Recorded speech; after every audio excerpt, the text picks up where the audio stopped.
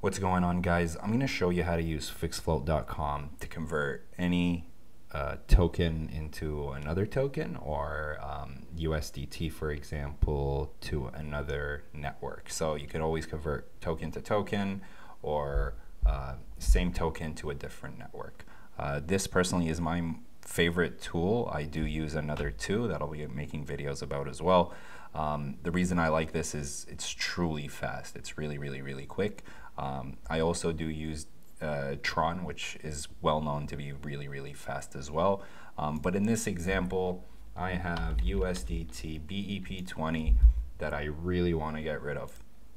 I do want to convert it to Bitcoin in this case. Um, but as I mentioned earlier, to show you as an example though, you could always convert to any other network. So if you want that BEP20 to turn into Tron, uh, you can, or into an Ethereum network, you you also have the ability to do so. Uh, in this example, I do want to convert my money into Bitcoin.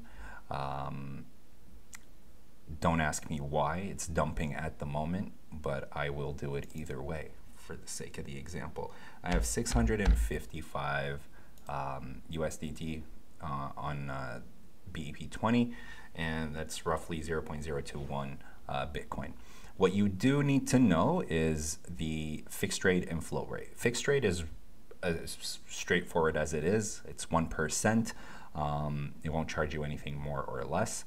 and that 1% is based off of uh, the time of confirmation on the blockchain.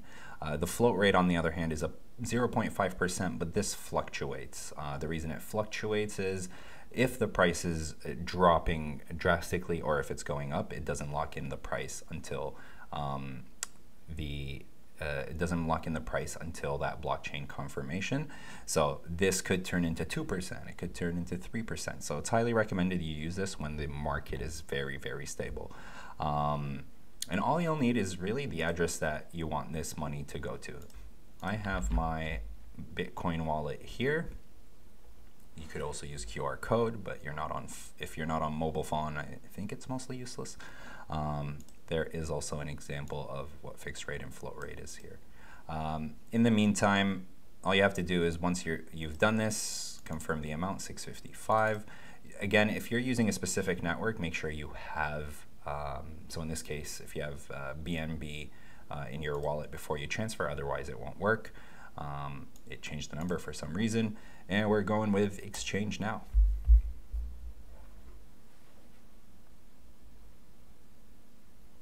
It opens up this new page. Uh, this is the wallet basically that it's going to. I personally like using the QR code to be safe, and then it tells you the receiving address um, uh, in terms of where that Bitcoin will be going. So this is my wallet. This is a FixedFloat's wallet.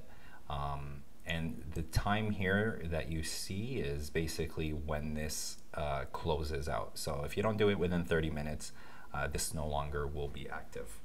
So I'm going to show you a side-by-side -side on, on a mobile phone and basically how to do that. I'm going to go on our Binance BEP20 and we're going to do send. I'm using Trust Wallet, but again, this works on any wallet. It doesn't have to be Trust Wallet. It could be from your Binance. It could be from anywhere, really.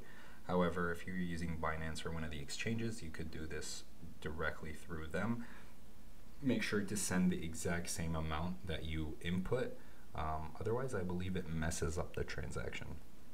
So we have 654.999, and we're going to send this money through, confirm and it's transferring. And bam, just like that, received. So we're gonna have to wait for the confirmations uh, for this to go through. Uh, it's usually fairly quick. And as you can see, the money has already transferred out of my Trust wallet.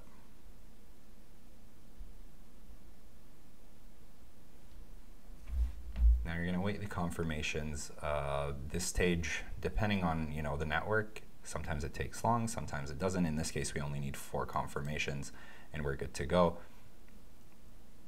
And just like that, my Bitcoin has been sent.